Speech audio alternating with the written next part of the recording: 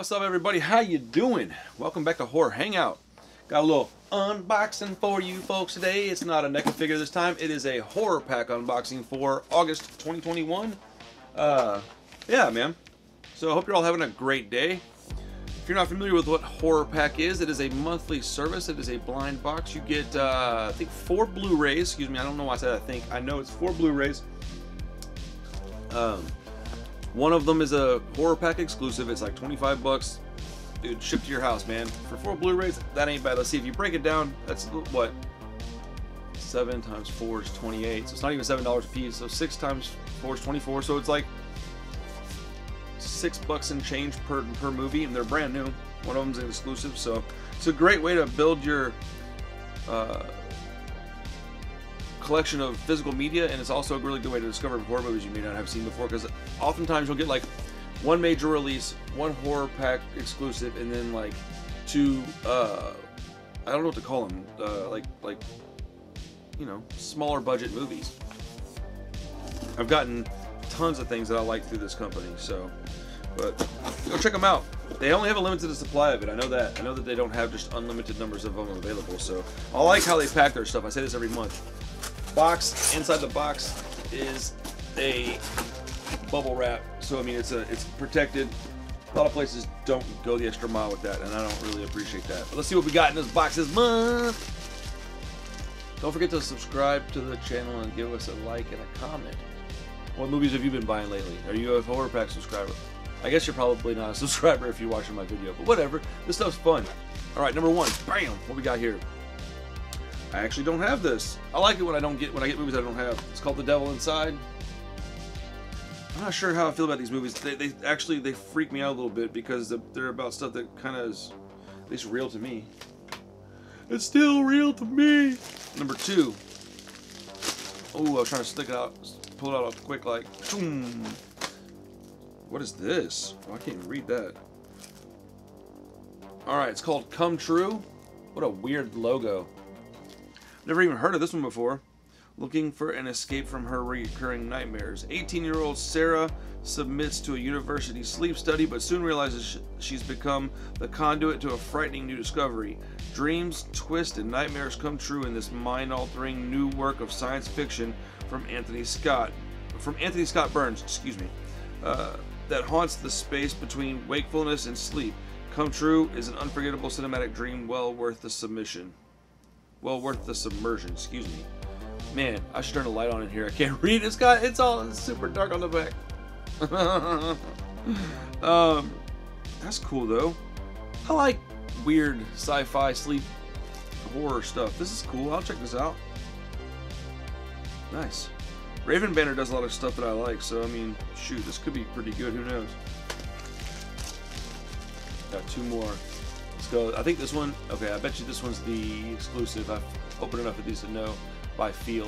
Bam. It is.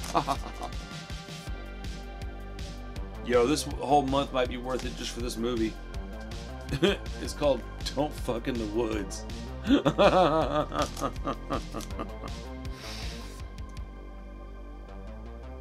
Um, I'll say this: if there's not boobs in this movie, I'm gonna. This is a complete ripoff. Uh, after the stress and mental anguish of finals, Alex and her girlfriend Jane trek with new friends into the woods for a little rest and relaxation. As the group begins to unwind, something in the dark has discovered a new and intoxicating scent and a thirst that can't be quenched. I wonder what that scent is. Butt, maybe? Yo, this is gonna be awesome.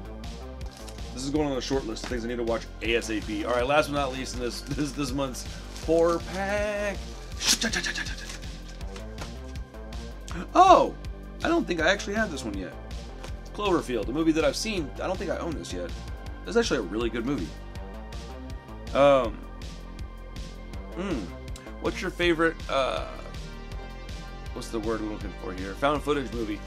I think Cloverfield's way up there, but I think Blair Witch is still king.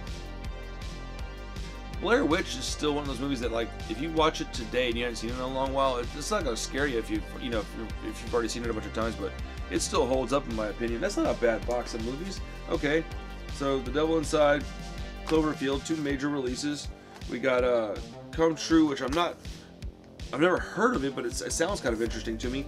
And dude, I'll take this one based on the title. Don't in the woods, man. That's awesome. What a ridiculous title. On the back it says that somebody from Dread Central called it the best movie title that's ever been created.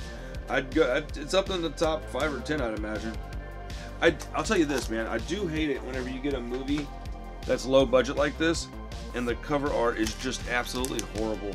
Like, look at that, dude. You can't even tell what that is. Like, I just, it, I don't understand. I mean, look at the back here. So, as far as the movie's concerned, the movie could be fine. I don't, I don't have any idea. Uh, I will let you know when I watch it, though. But look at this, dude. Like, come on, man. Put, put better, better work into your presentation. Uh, let's see what the disc looks like. And the disc looks just as bad.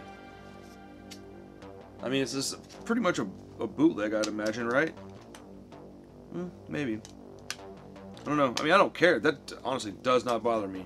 Um, my only concern is is that the the quality of the artwork. You know, if that's if that tells you what's you know what you're in for. So they've got 62 horror pack exclusive movies. I've got a bunch of them. I've been doing horror pack for hell. I probably have two years worth of them at this point. More more good than bad. I'll tell you that much. A lot of places can't claim that. But uh, Horror Pack solid, dude. I dig it. And I wish they would sponsor me. So if y'all see this up there at Horror Pack, holla at your boy, man. I'm gonna be doing big things one of these days. And you're gonna wish you would. Uh, you know, but they're like, sure, guy, whatever. Fast forward 14, 18, 20 months from now, they're gonna be like, dang, Randall over there killing it. No, I'm just playing. They probably don't care at all. But uh, yeah, Horror Pack's fire, man. I really enjoy this stuff. I hope you like this video. I hope you go subscribe to Horror Pack. Uh, help keep physical media at the front of everybody's minds and uh, build your horror collection. Get to see more movies. This is a win-win-win, man. Horror Pack's dope. Uh, sorry, I'm tired, man. I got, I got, I got a lot of work to do still, so I'm gonna get out of here, man. I'll see y'all next time. Hopefully, we'll have something awesome for you. Actually, I know we'll have something awesome for you. If you have any suggestions for movie reviews, uh, NECA figures you'd like me to unbox and check out, shoot me a comment down below and let me know, and I'll be more than happy to take care of that for you. All right. Have a great day, everybody. We'll see you soon. Peace.